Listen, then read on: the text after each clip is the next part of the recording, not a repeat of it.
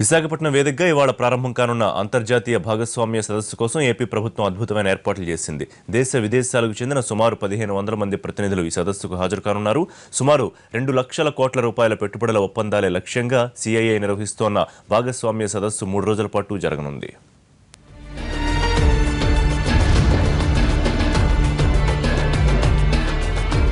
రాష్ట్ర విభజన తర్వాత విశాఖ వేదిక జరుగుతున్న తొలి అంతర్జాతీయ భాగస్వామ్య సదస్సును ఏపీ ప్రభుత్వం అత్యంత ప్రతిష్టాత్మకంగా నిర్వహించబోతోంది. దేశ విదేశాల నుంచి వచ్చే అతిరథ మహారథుల కోసం విస్తృతమైన ఏర్పాట్లు చేసింది. హార్బర్ పార్క్ ఏరియాలోని ఏపీ ఐఐసి గ్రౌండ్ను స్టార్ హోటళ్ళను తలదన్నే అద్భుత రీతిలో ముస్తాబ్ చేసింది. పదిహేను వందల మంది కూర్చునేలా పెద్ద మీటింగ్ హాల్ పన్నెండు అడుగుల ఎత్తు నలభై అడుగుల వెడల్పు ఉన్న ఎల్ఈడి స్క్రీన్ ఒక వేదిక నుంచి మరో వేదికకు వెళ్ళేందుకు ఇంటర్నల్ టెనల్స్ ఎక్కడ చూసినా పచ్చదనంతో అదిరిపోయే ఏర్పాట్లు జరిగాయి.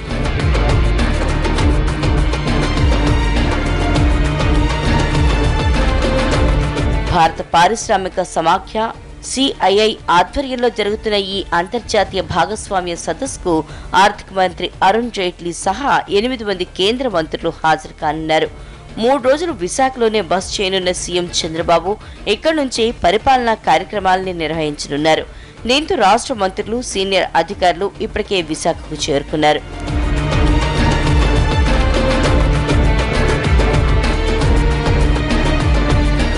సన్ రైజ్ స్టేట్గా అంతర్జాతీయ గుర్తింపు సాధించేందుకు వడివడిగా అడుగులు వేస్తున్న ఆంధ్రప్రదేశ్ అభివృద్ధి పారిశ్రామిక పెట్టుబడుల ఆకర్షణ ద్వారానే సాధ్యమని ఏపీ సర్కార్ భావిస్తోంది. గడిచిన పన్నెండు నెలల కాలంలో వివిధ కంపెనీలతో భారీగా పెట్టుబడులు పెట్టేందుకు ఒప్పందాలు కుదుర్చుకున్నా గ్రౌండింగ్ అవుతున్న ప్రాజెక్టులు తక్కువగా ఉంటున్నాయి.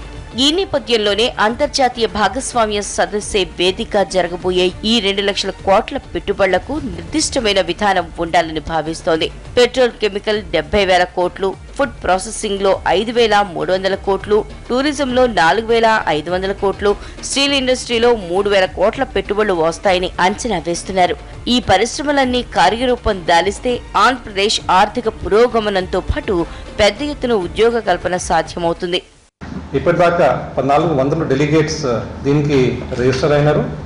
దాంట్లో ఒక మూడు వందల యాభై మంది ఇప్పటిదాకా ఇతర దేశం నుంచి ఉన్నారు. ఈ యొక్క కార్యక్రమంలో రకరకాల సబ్జెక్ట్ పైన ఇండస్ట్రీస్ సంబంధించిన కానీ ఇన్వెస్ట్మెంట్ సంబంధించిన కానీ ఇన్ఫ్రాస్ట్రక్చర్ సంబంధించిన కానీ స్మార్ట్ సిటీ పైన దీన్ని డిస్కషన్ అవుతాయి చర్చ జరుగుతున్నది ఎక్కడ ప్రపంచం ఉంది దేశం ఉంది ఆంధ్రప్రదేశ్ ఎక్కడ ఉంది ఎట్లా ముందుకు సాగాలని దానిపైన చర్చిస్తారు. అంతర్జాతీయ స్థాయి ఈవెంట్లకు వేదిక అవుతున్న విశాఖలో భద్రతా ఏర్పాట్లు పోలీసులకు కత్తి మీద సాములా మారాయి. పఠాన్కోట్ ఉగ్రదాడి నేపథ్యంలో నగరంలో భారీగా బలగాల్ని మోహరించారు. పార్ట్నర్షిప్ సమ్మిట్కు తరలి వస్తున్న దేశ విదేశీ ప్రతినిధులు కేంద్ర మంత్రులకు సెక్యూరిటీ కోసం ప్రత్యేకమైన వ్యవస్థను ఏర్పాటు చేశారు.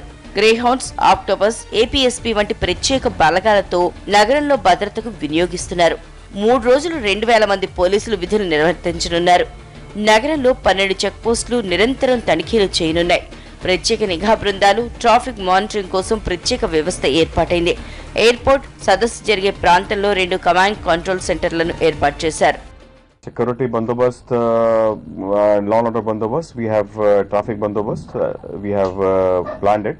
So the challenges చాలా challenges security is a big challenge ఇప్పుడు అది పఠాన్కోట్ ఇన్సిడెంట్ కానీ తర్వాత వేరే సెక్యూరిటీ సినియర్ కంట్రీలో చూస్తే so we have to take lots of security precautions మూడు రోజుల భాగస్వామ్య సదస్సుకొచ్చే అతిథుల కోసం అదిరిపోయే విందు ఏపీ సర్కార్ ఏర్పాటు చేసింది. తొలి రోజు హోటల్లో రెండో రోజు కైలాస్ గిరిపై ముఖ్యమంత్రి చంద్రబాబు ప్రతినిధులకు విందివ్వనున్నారు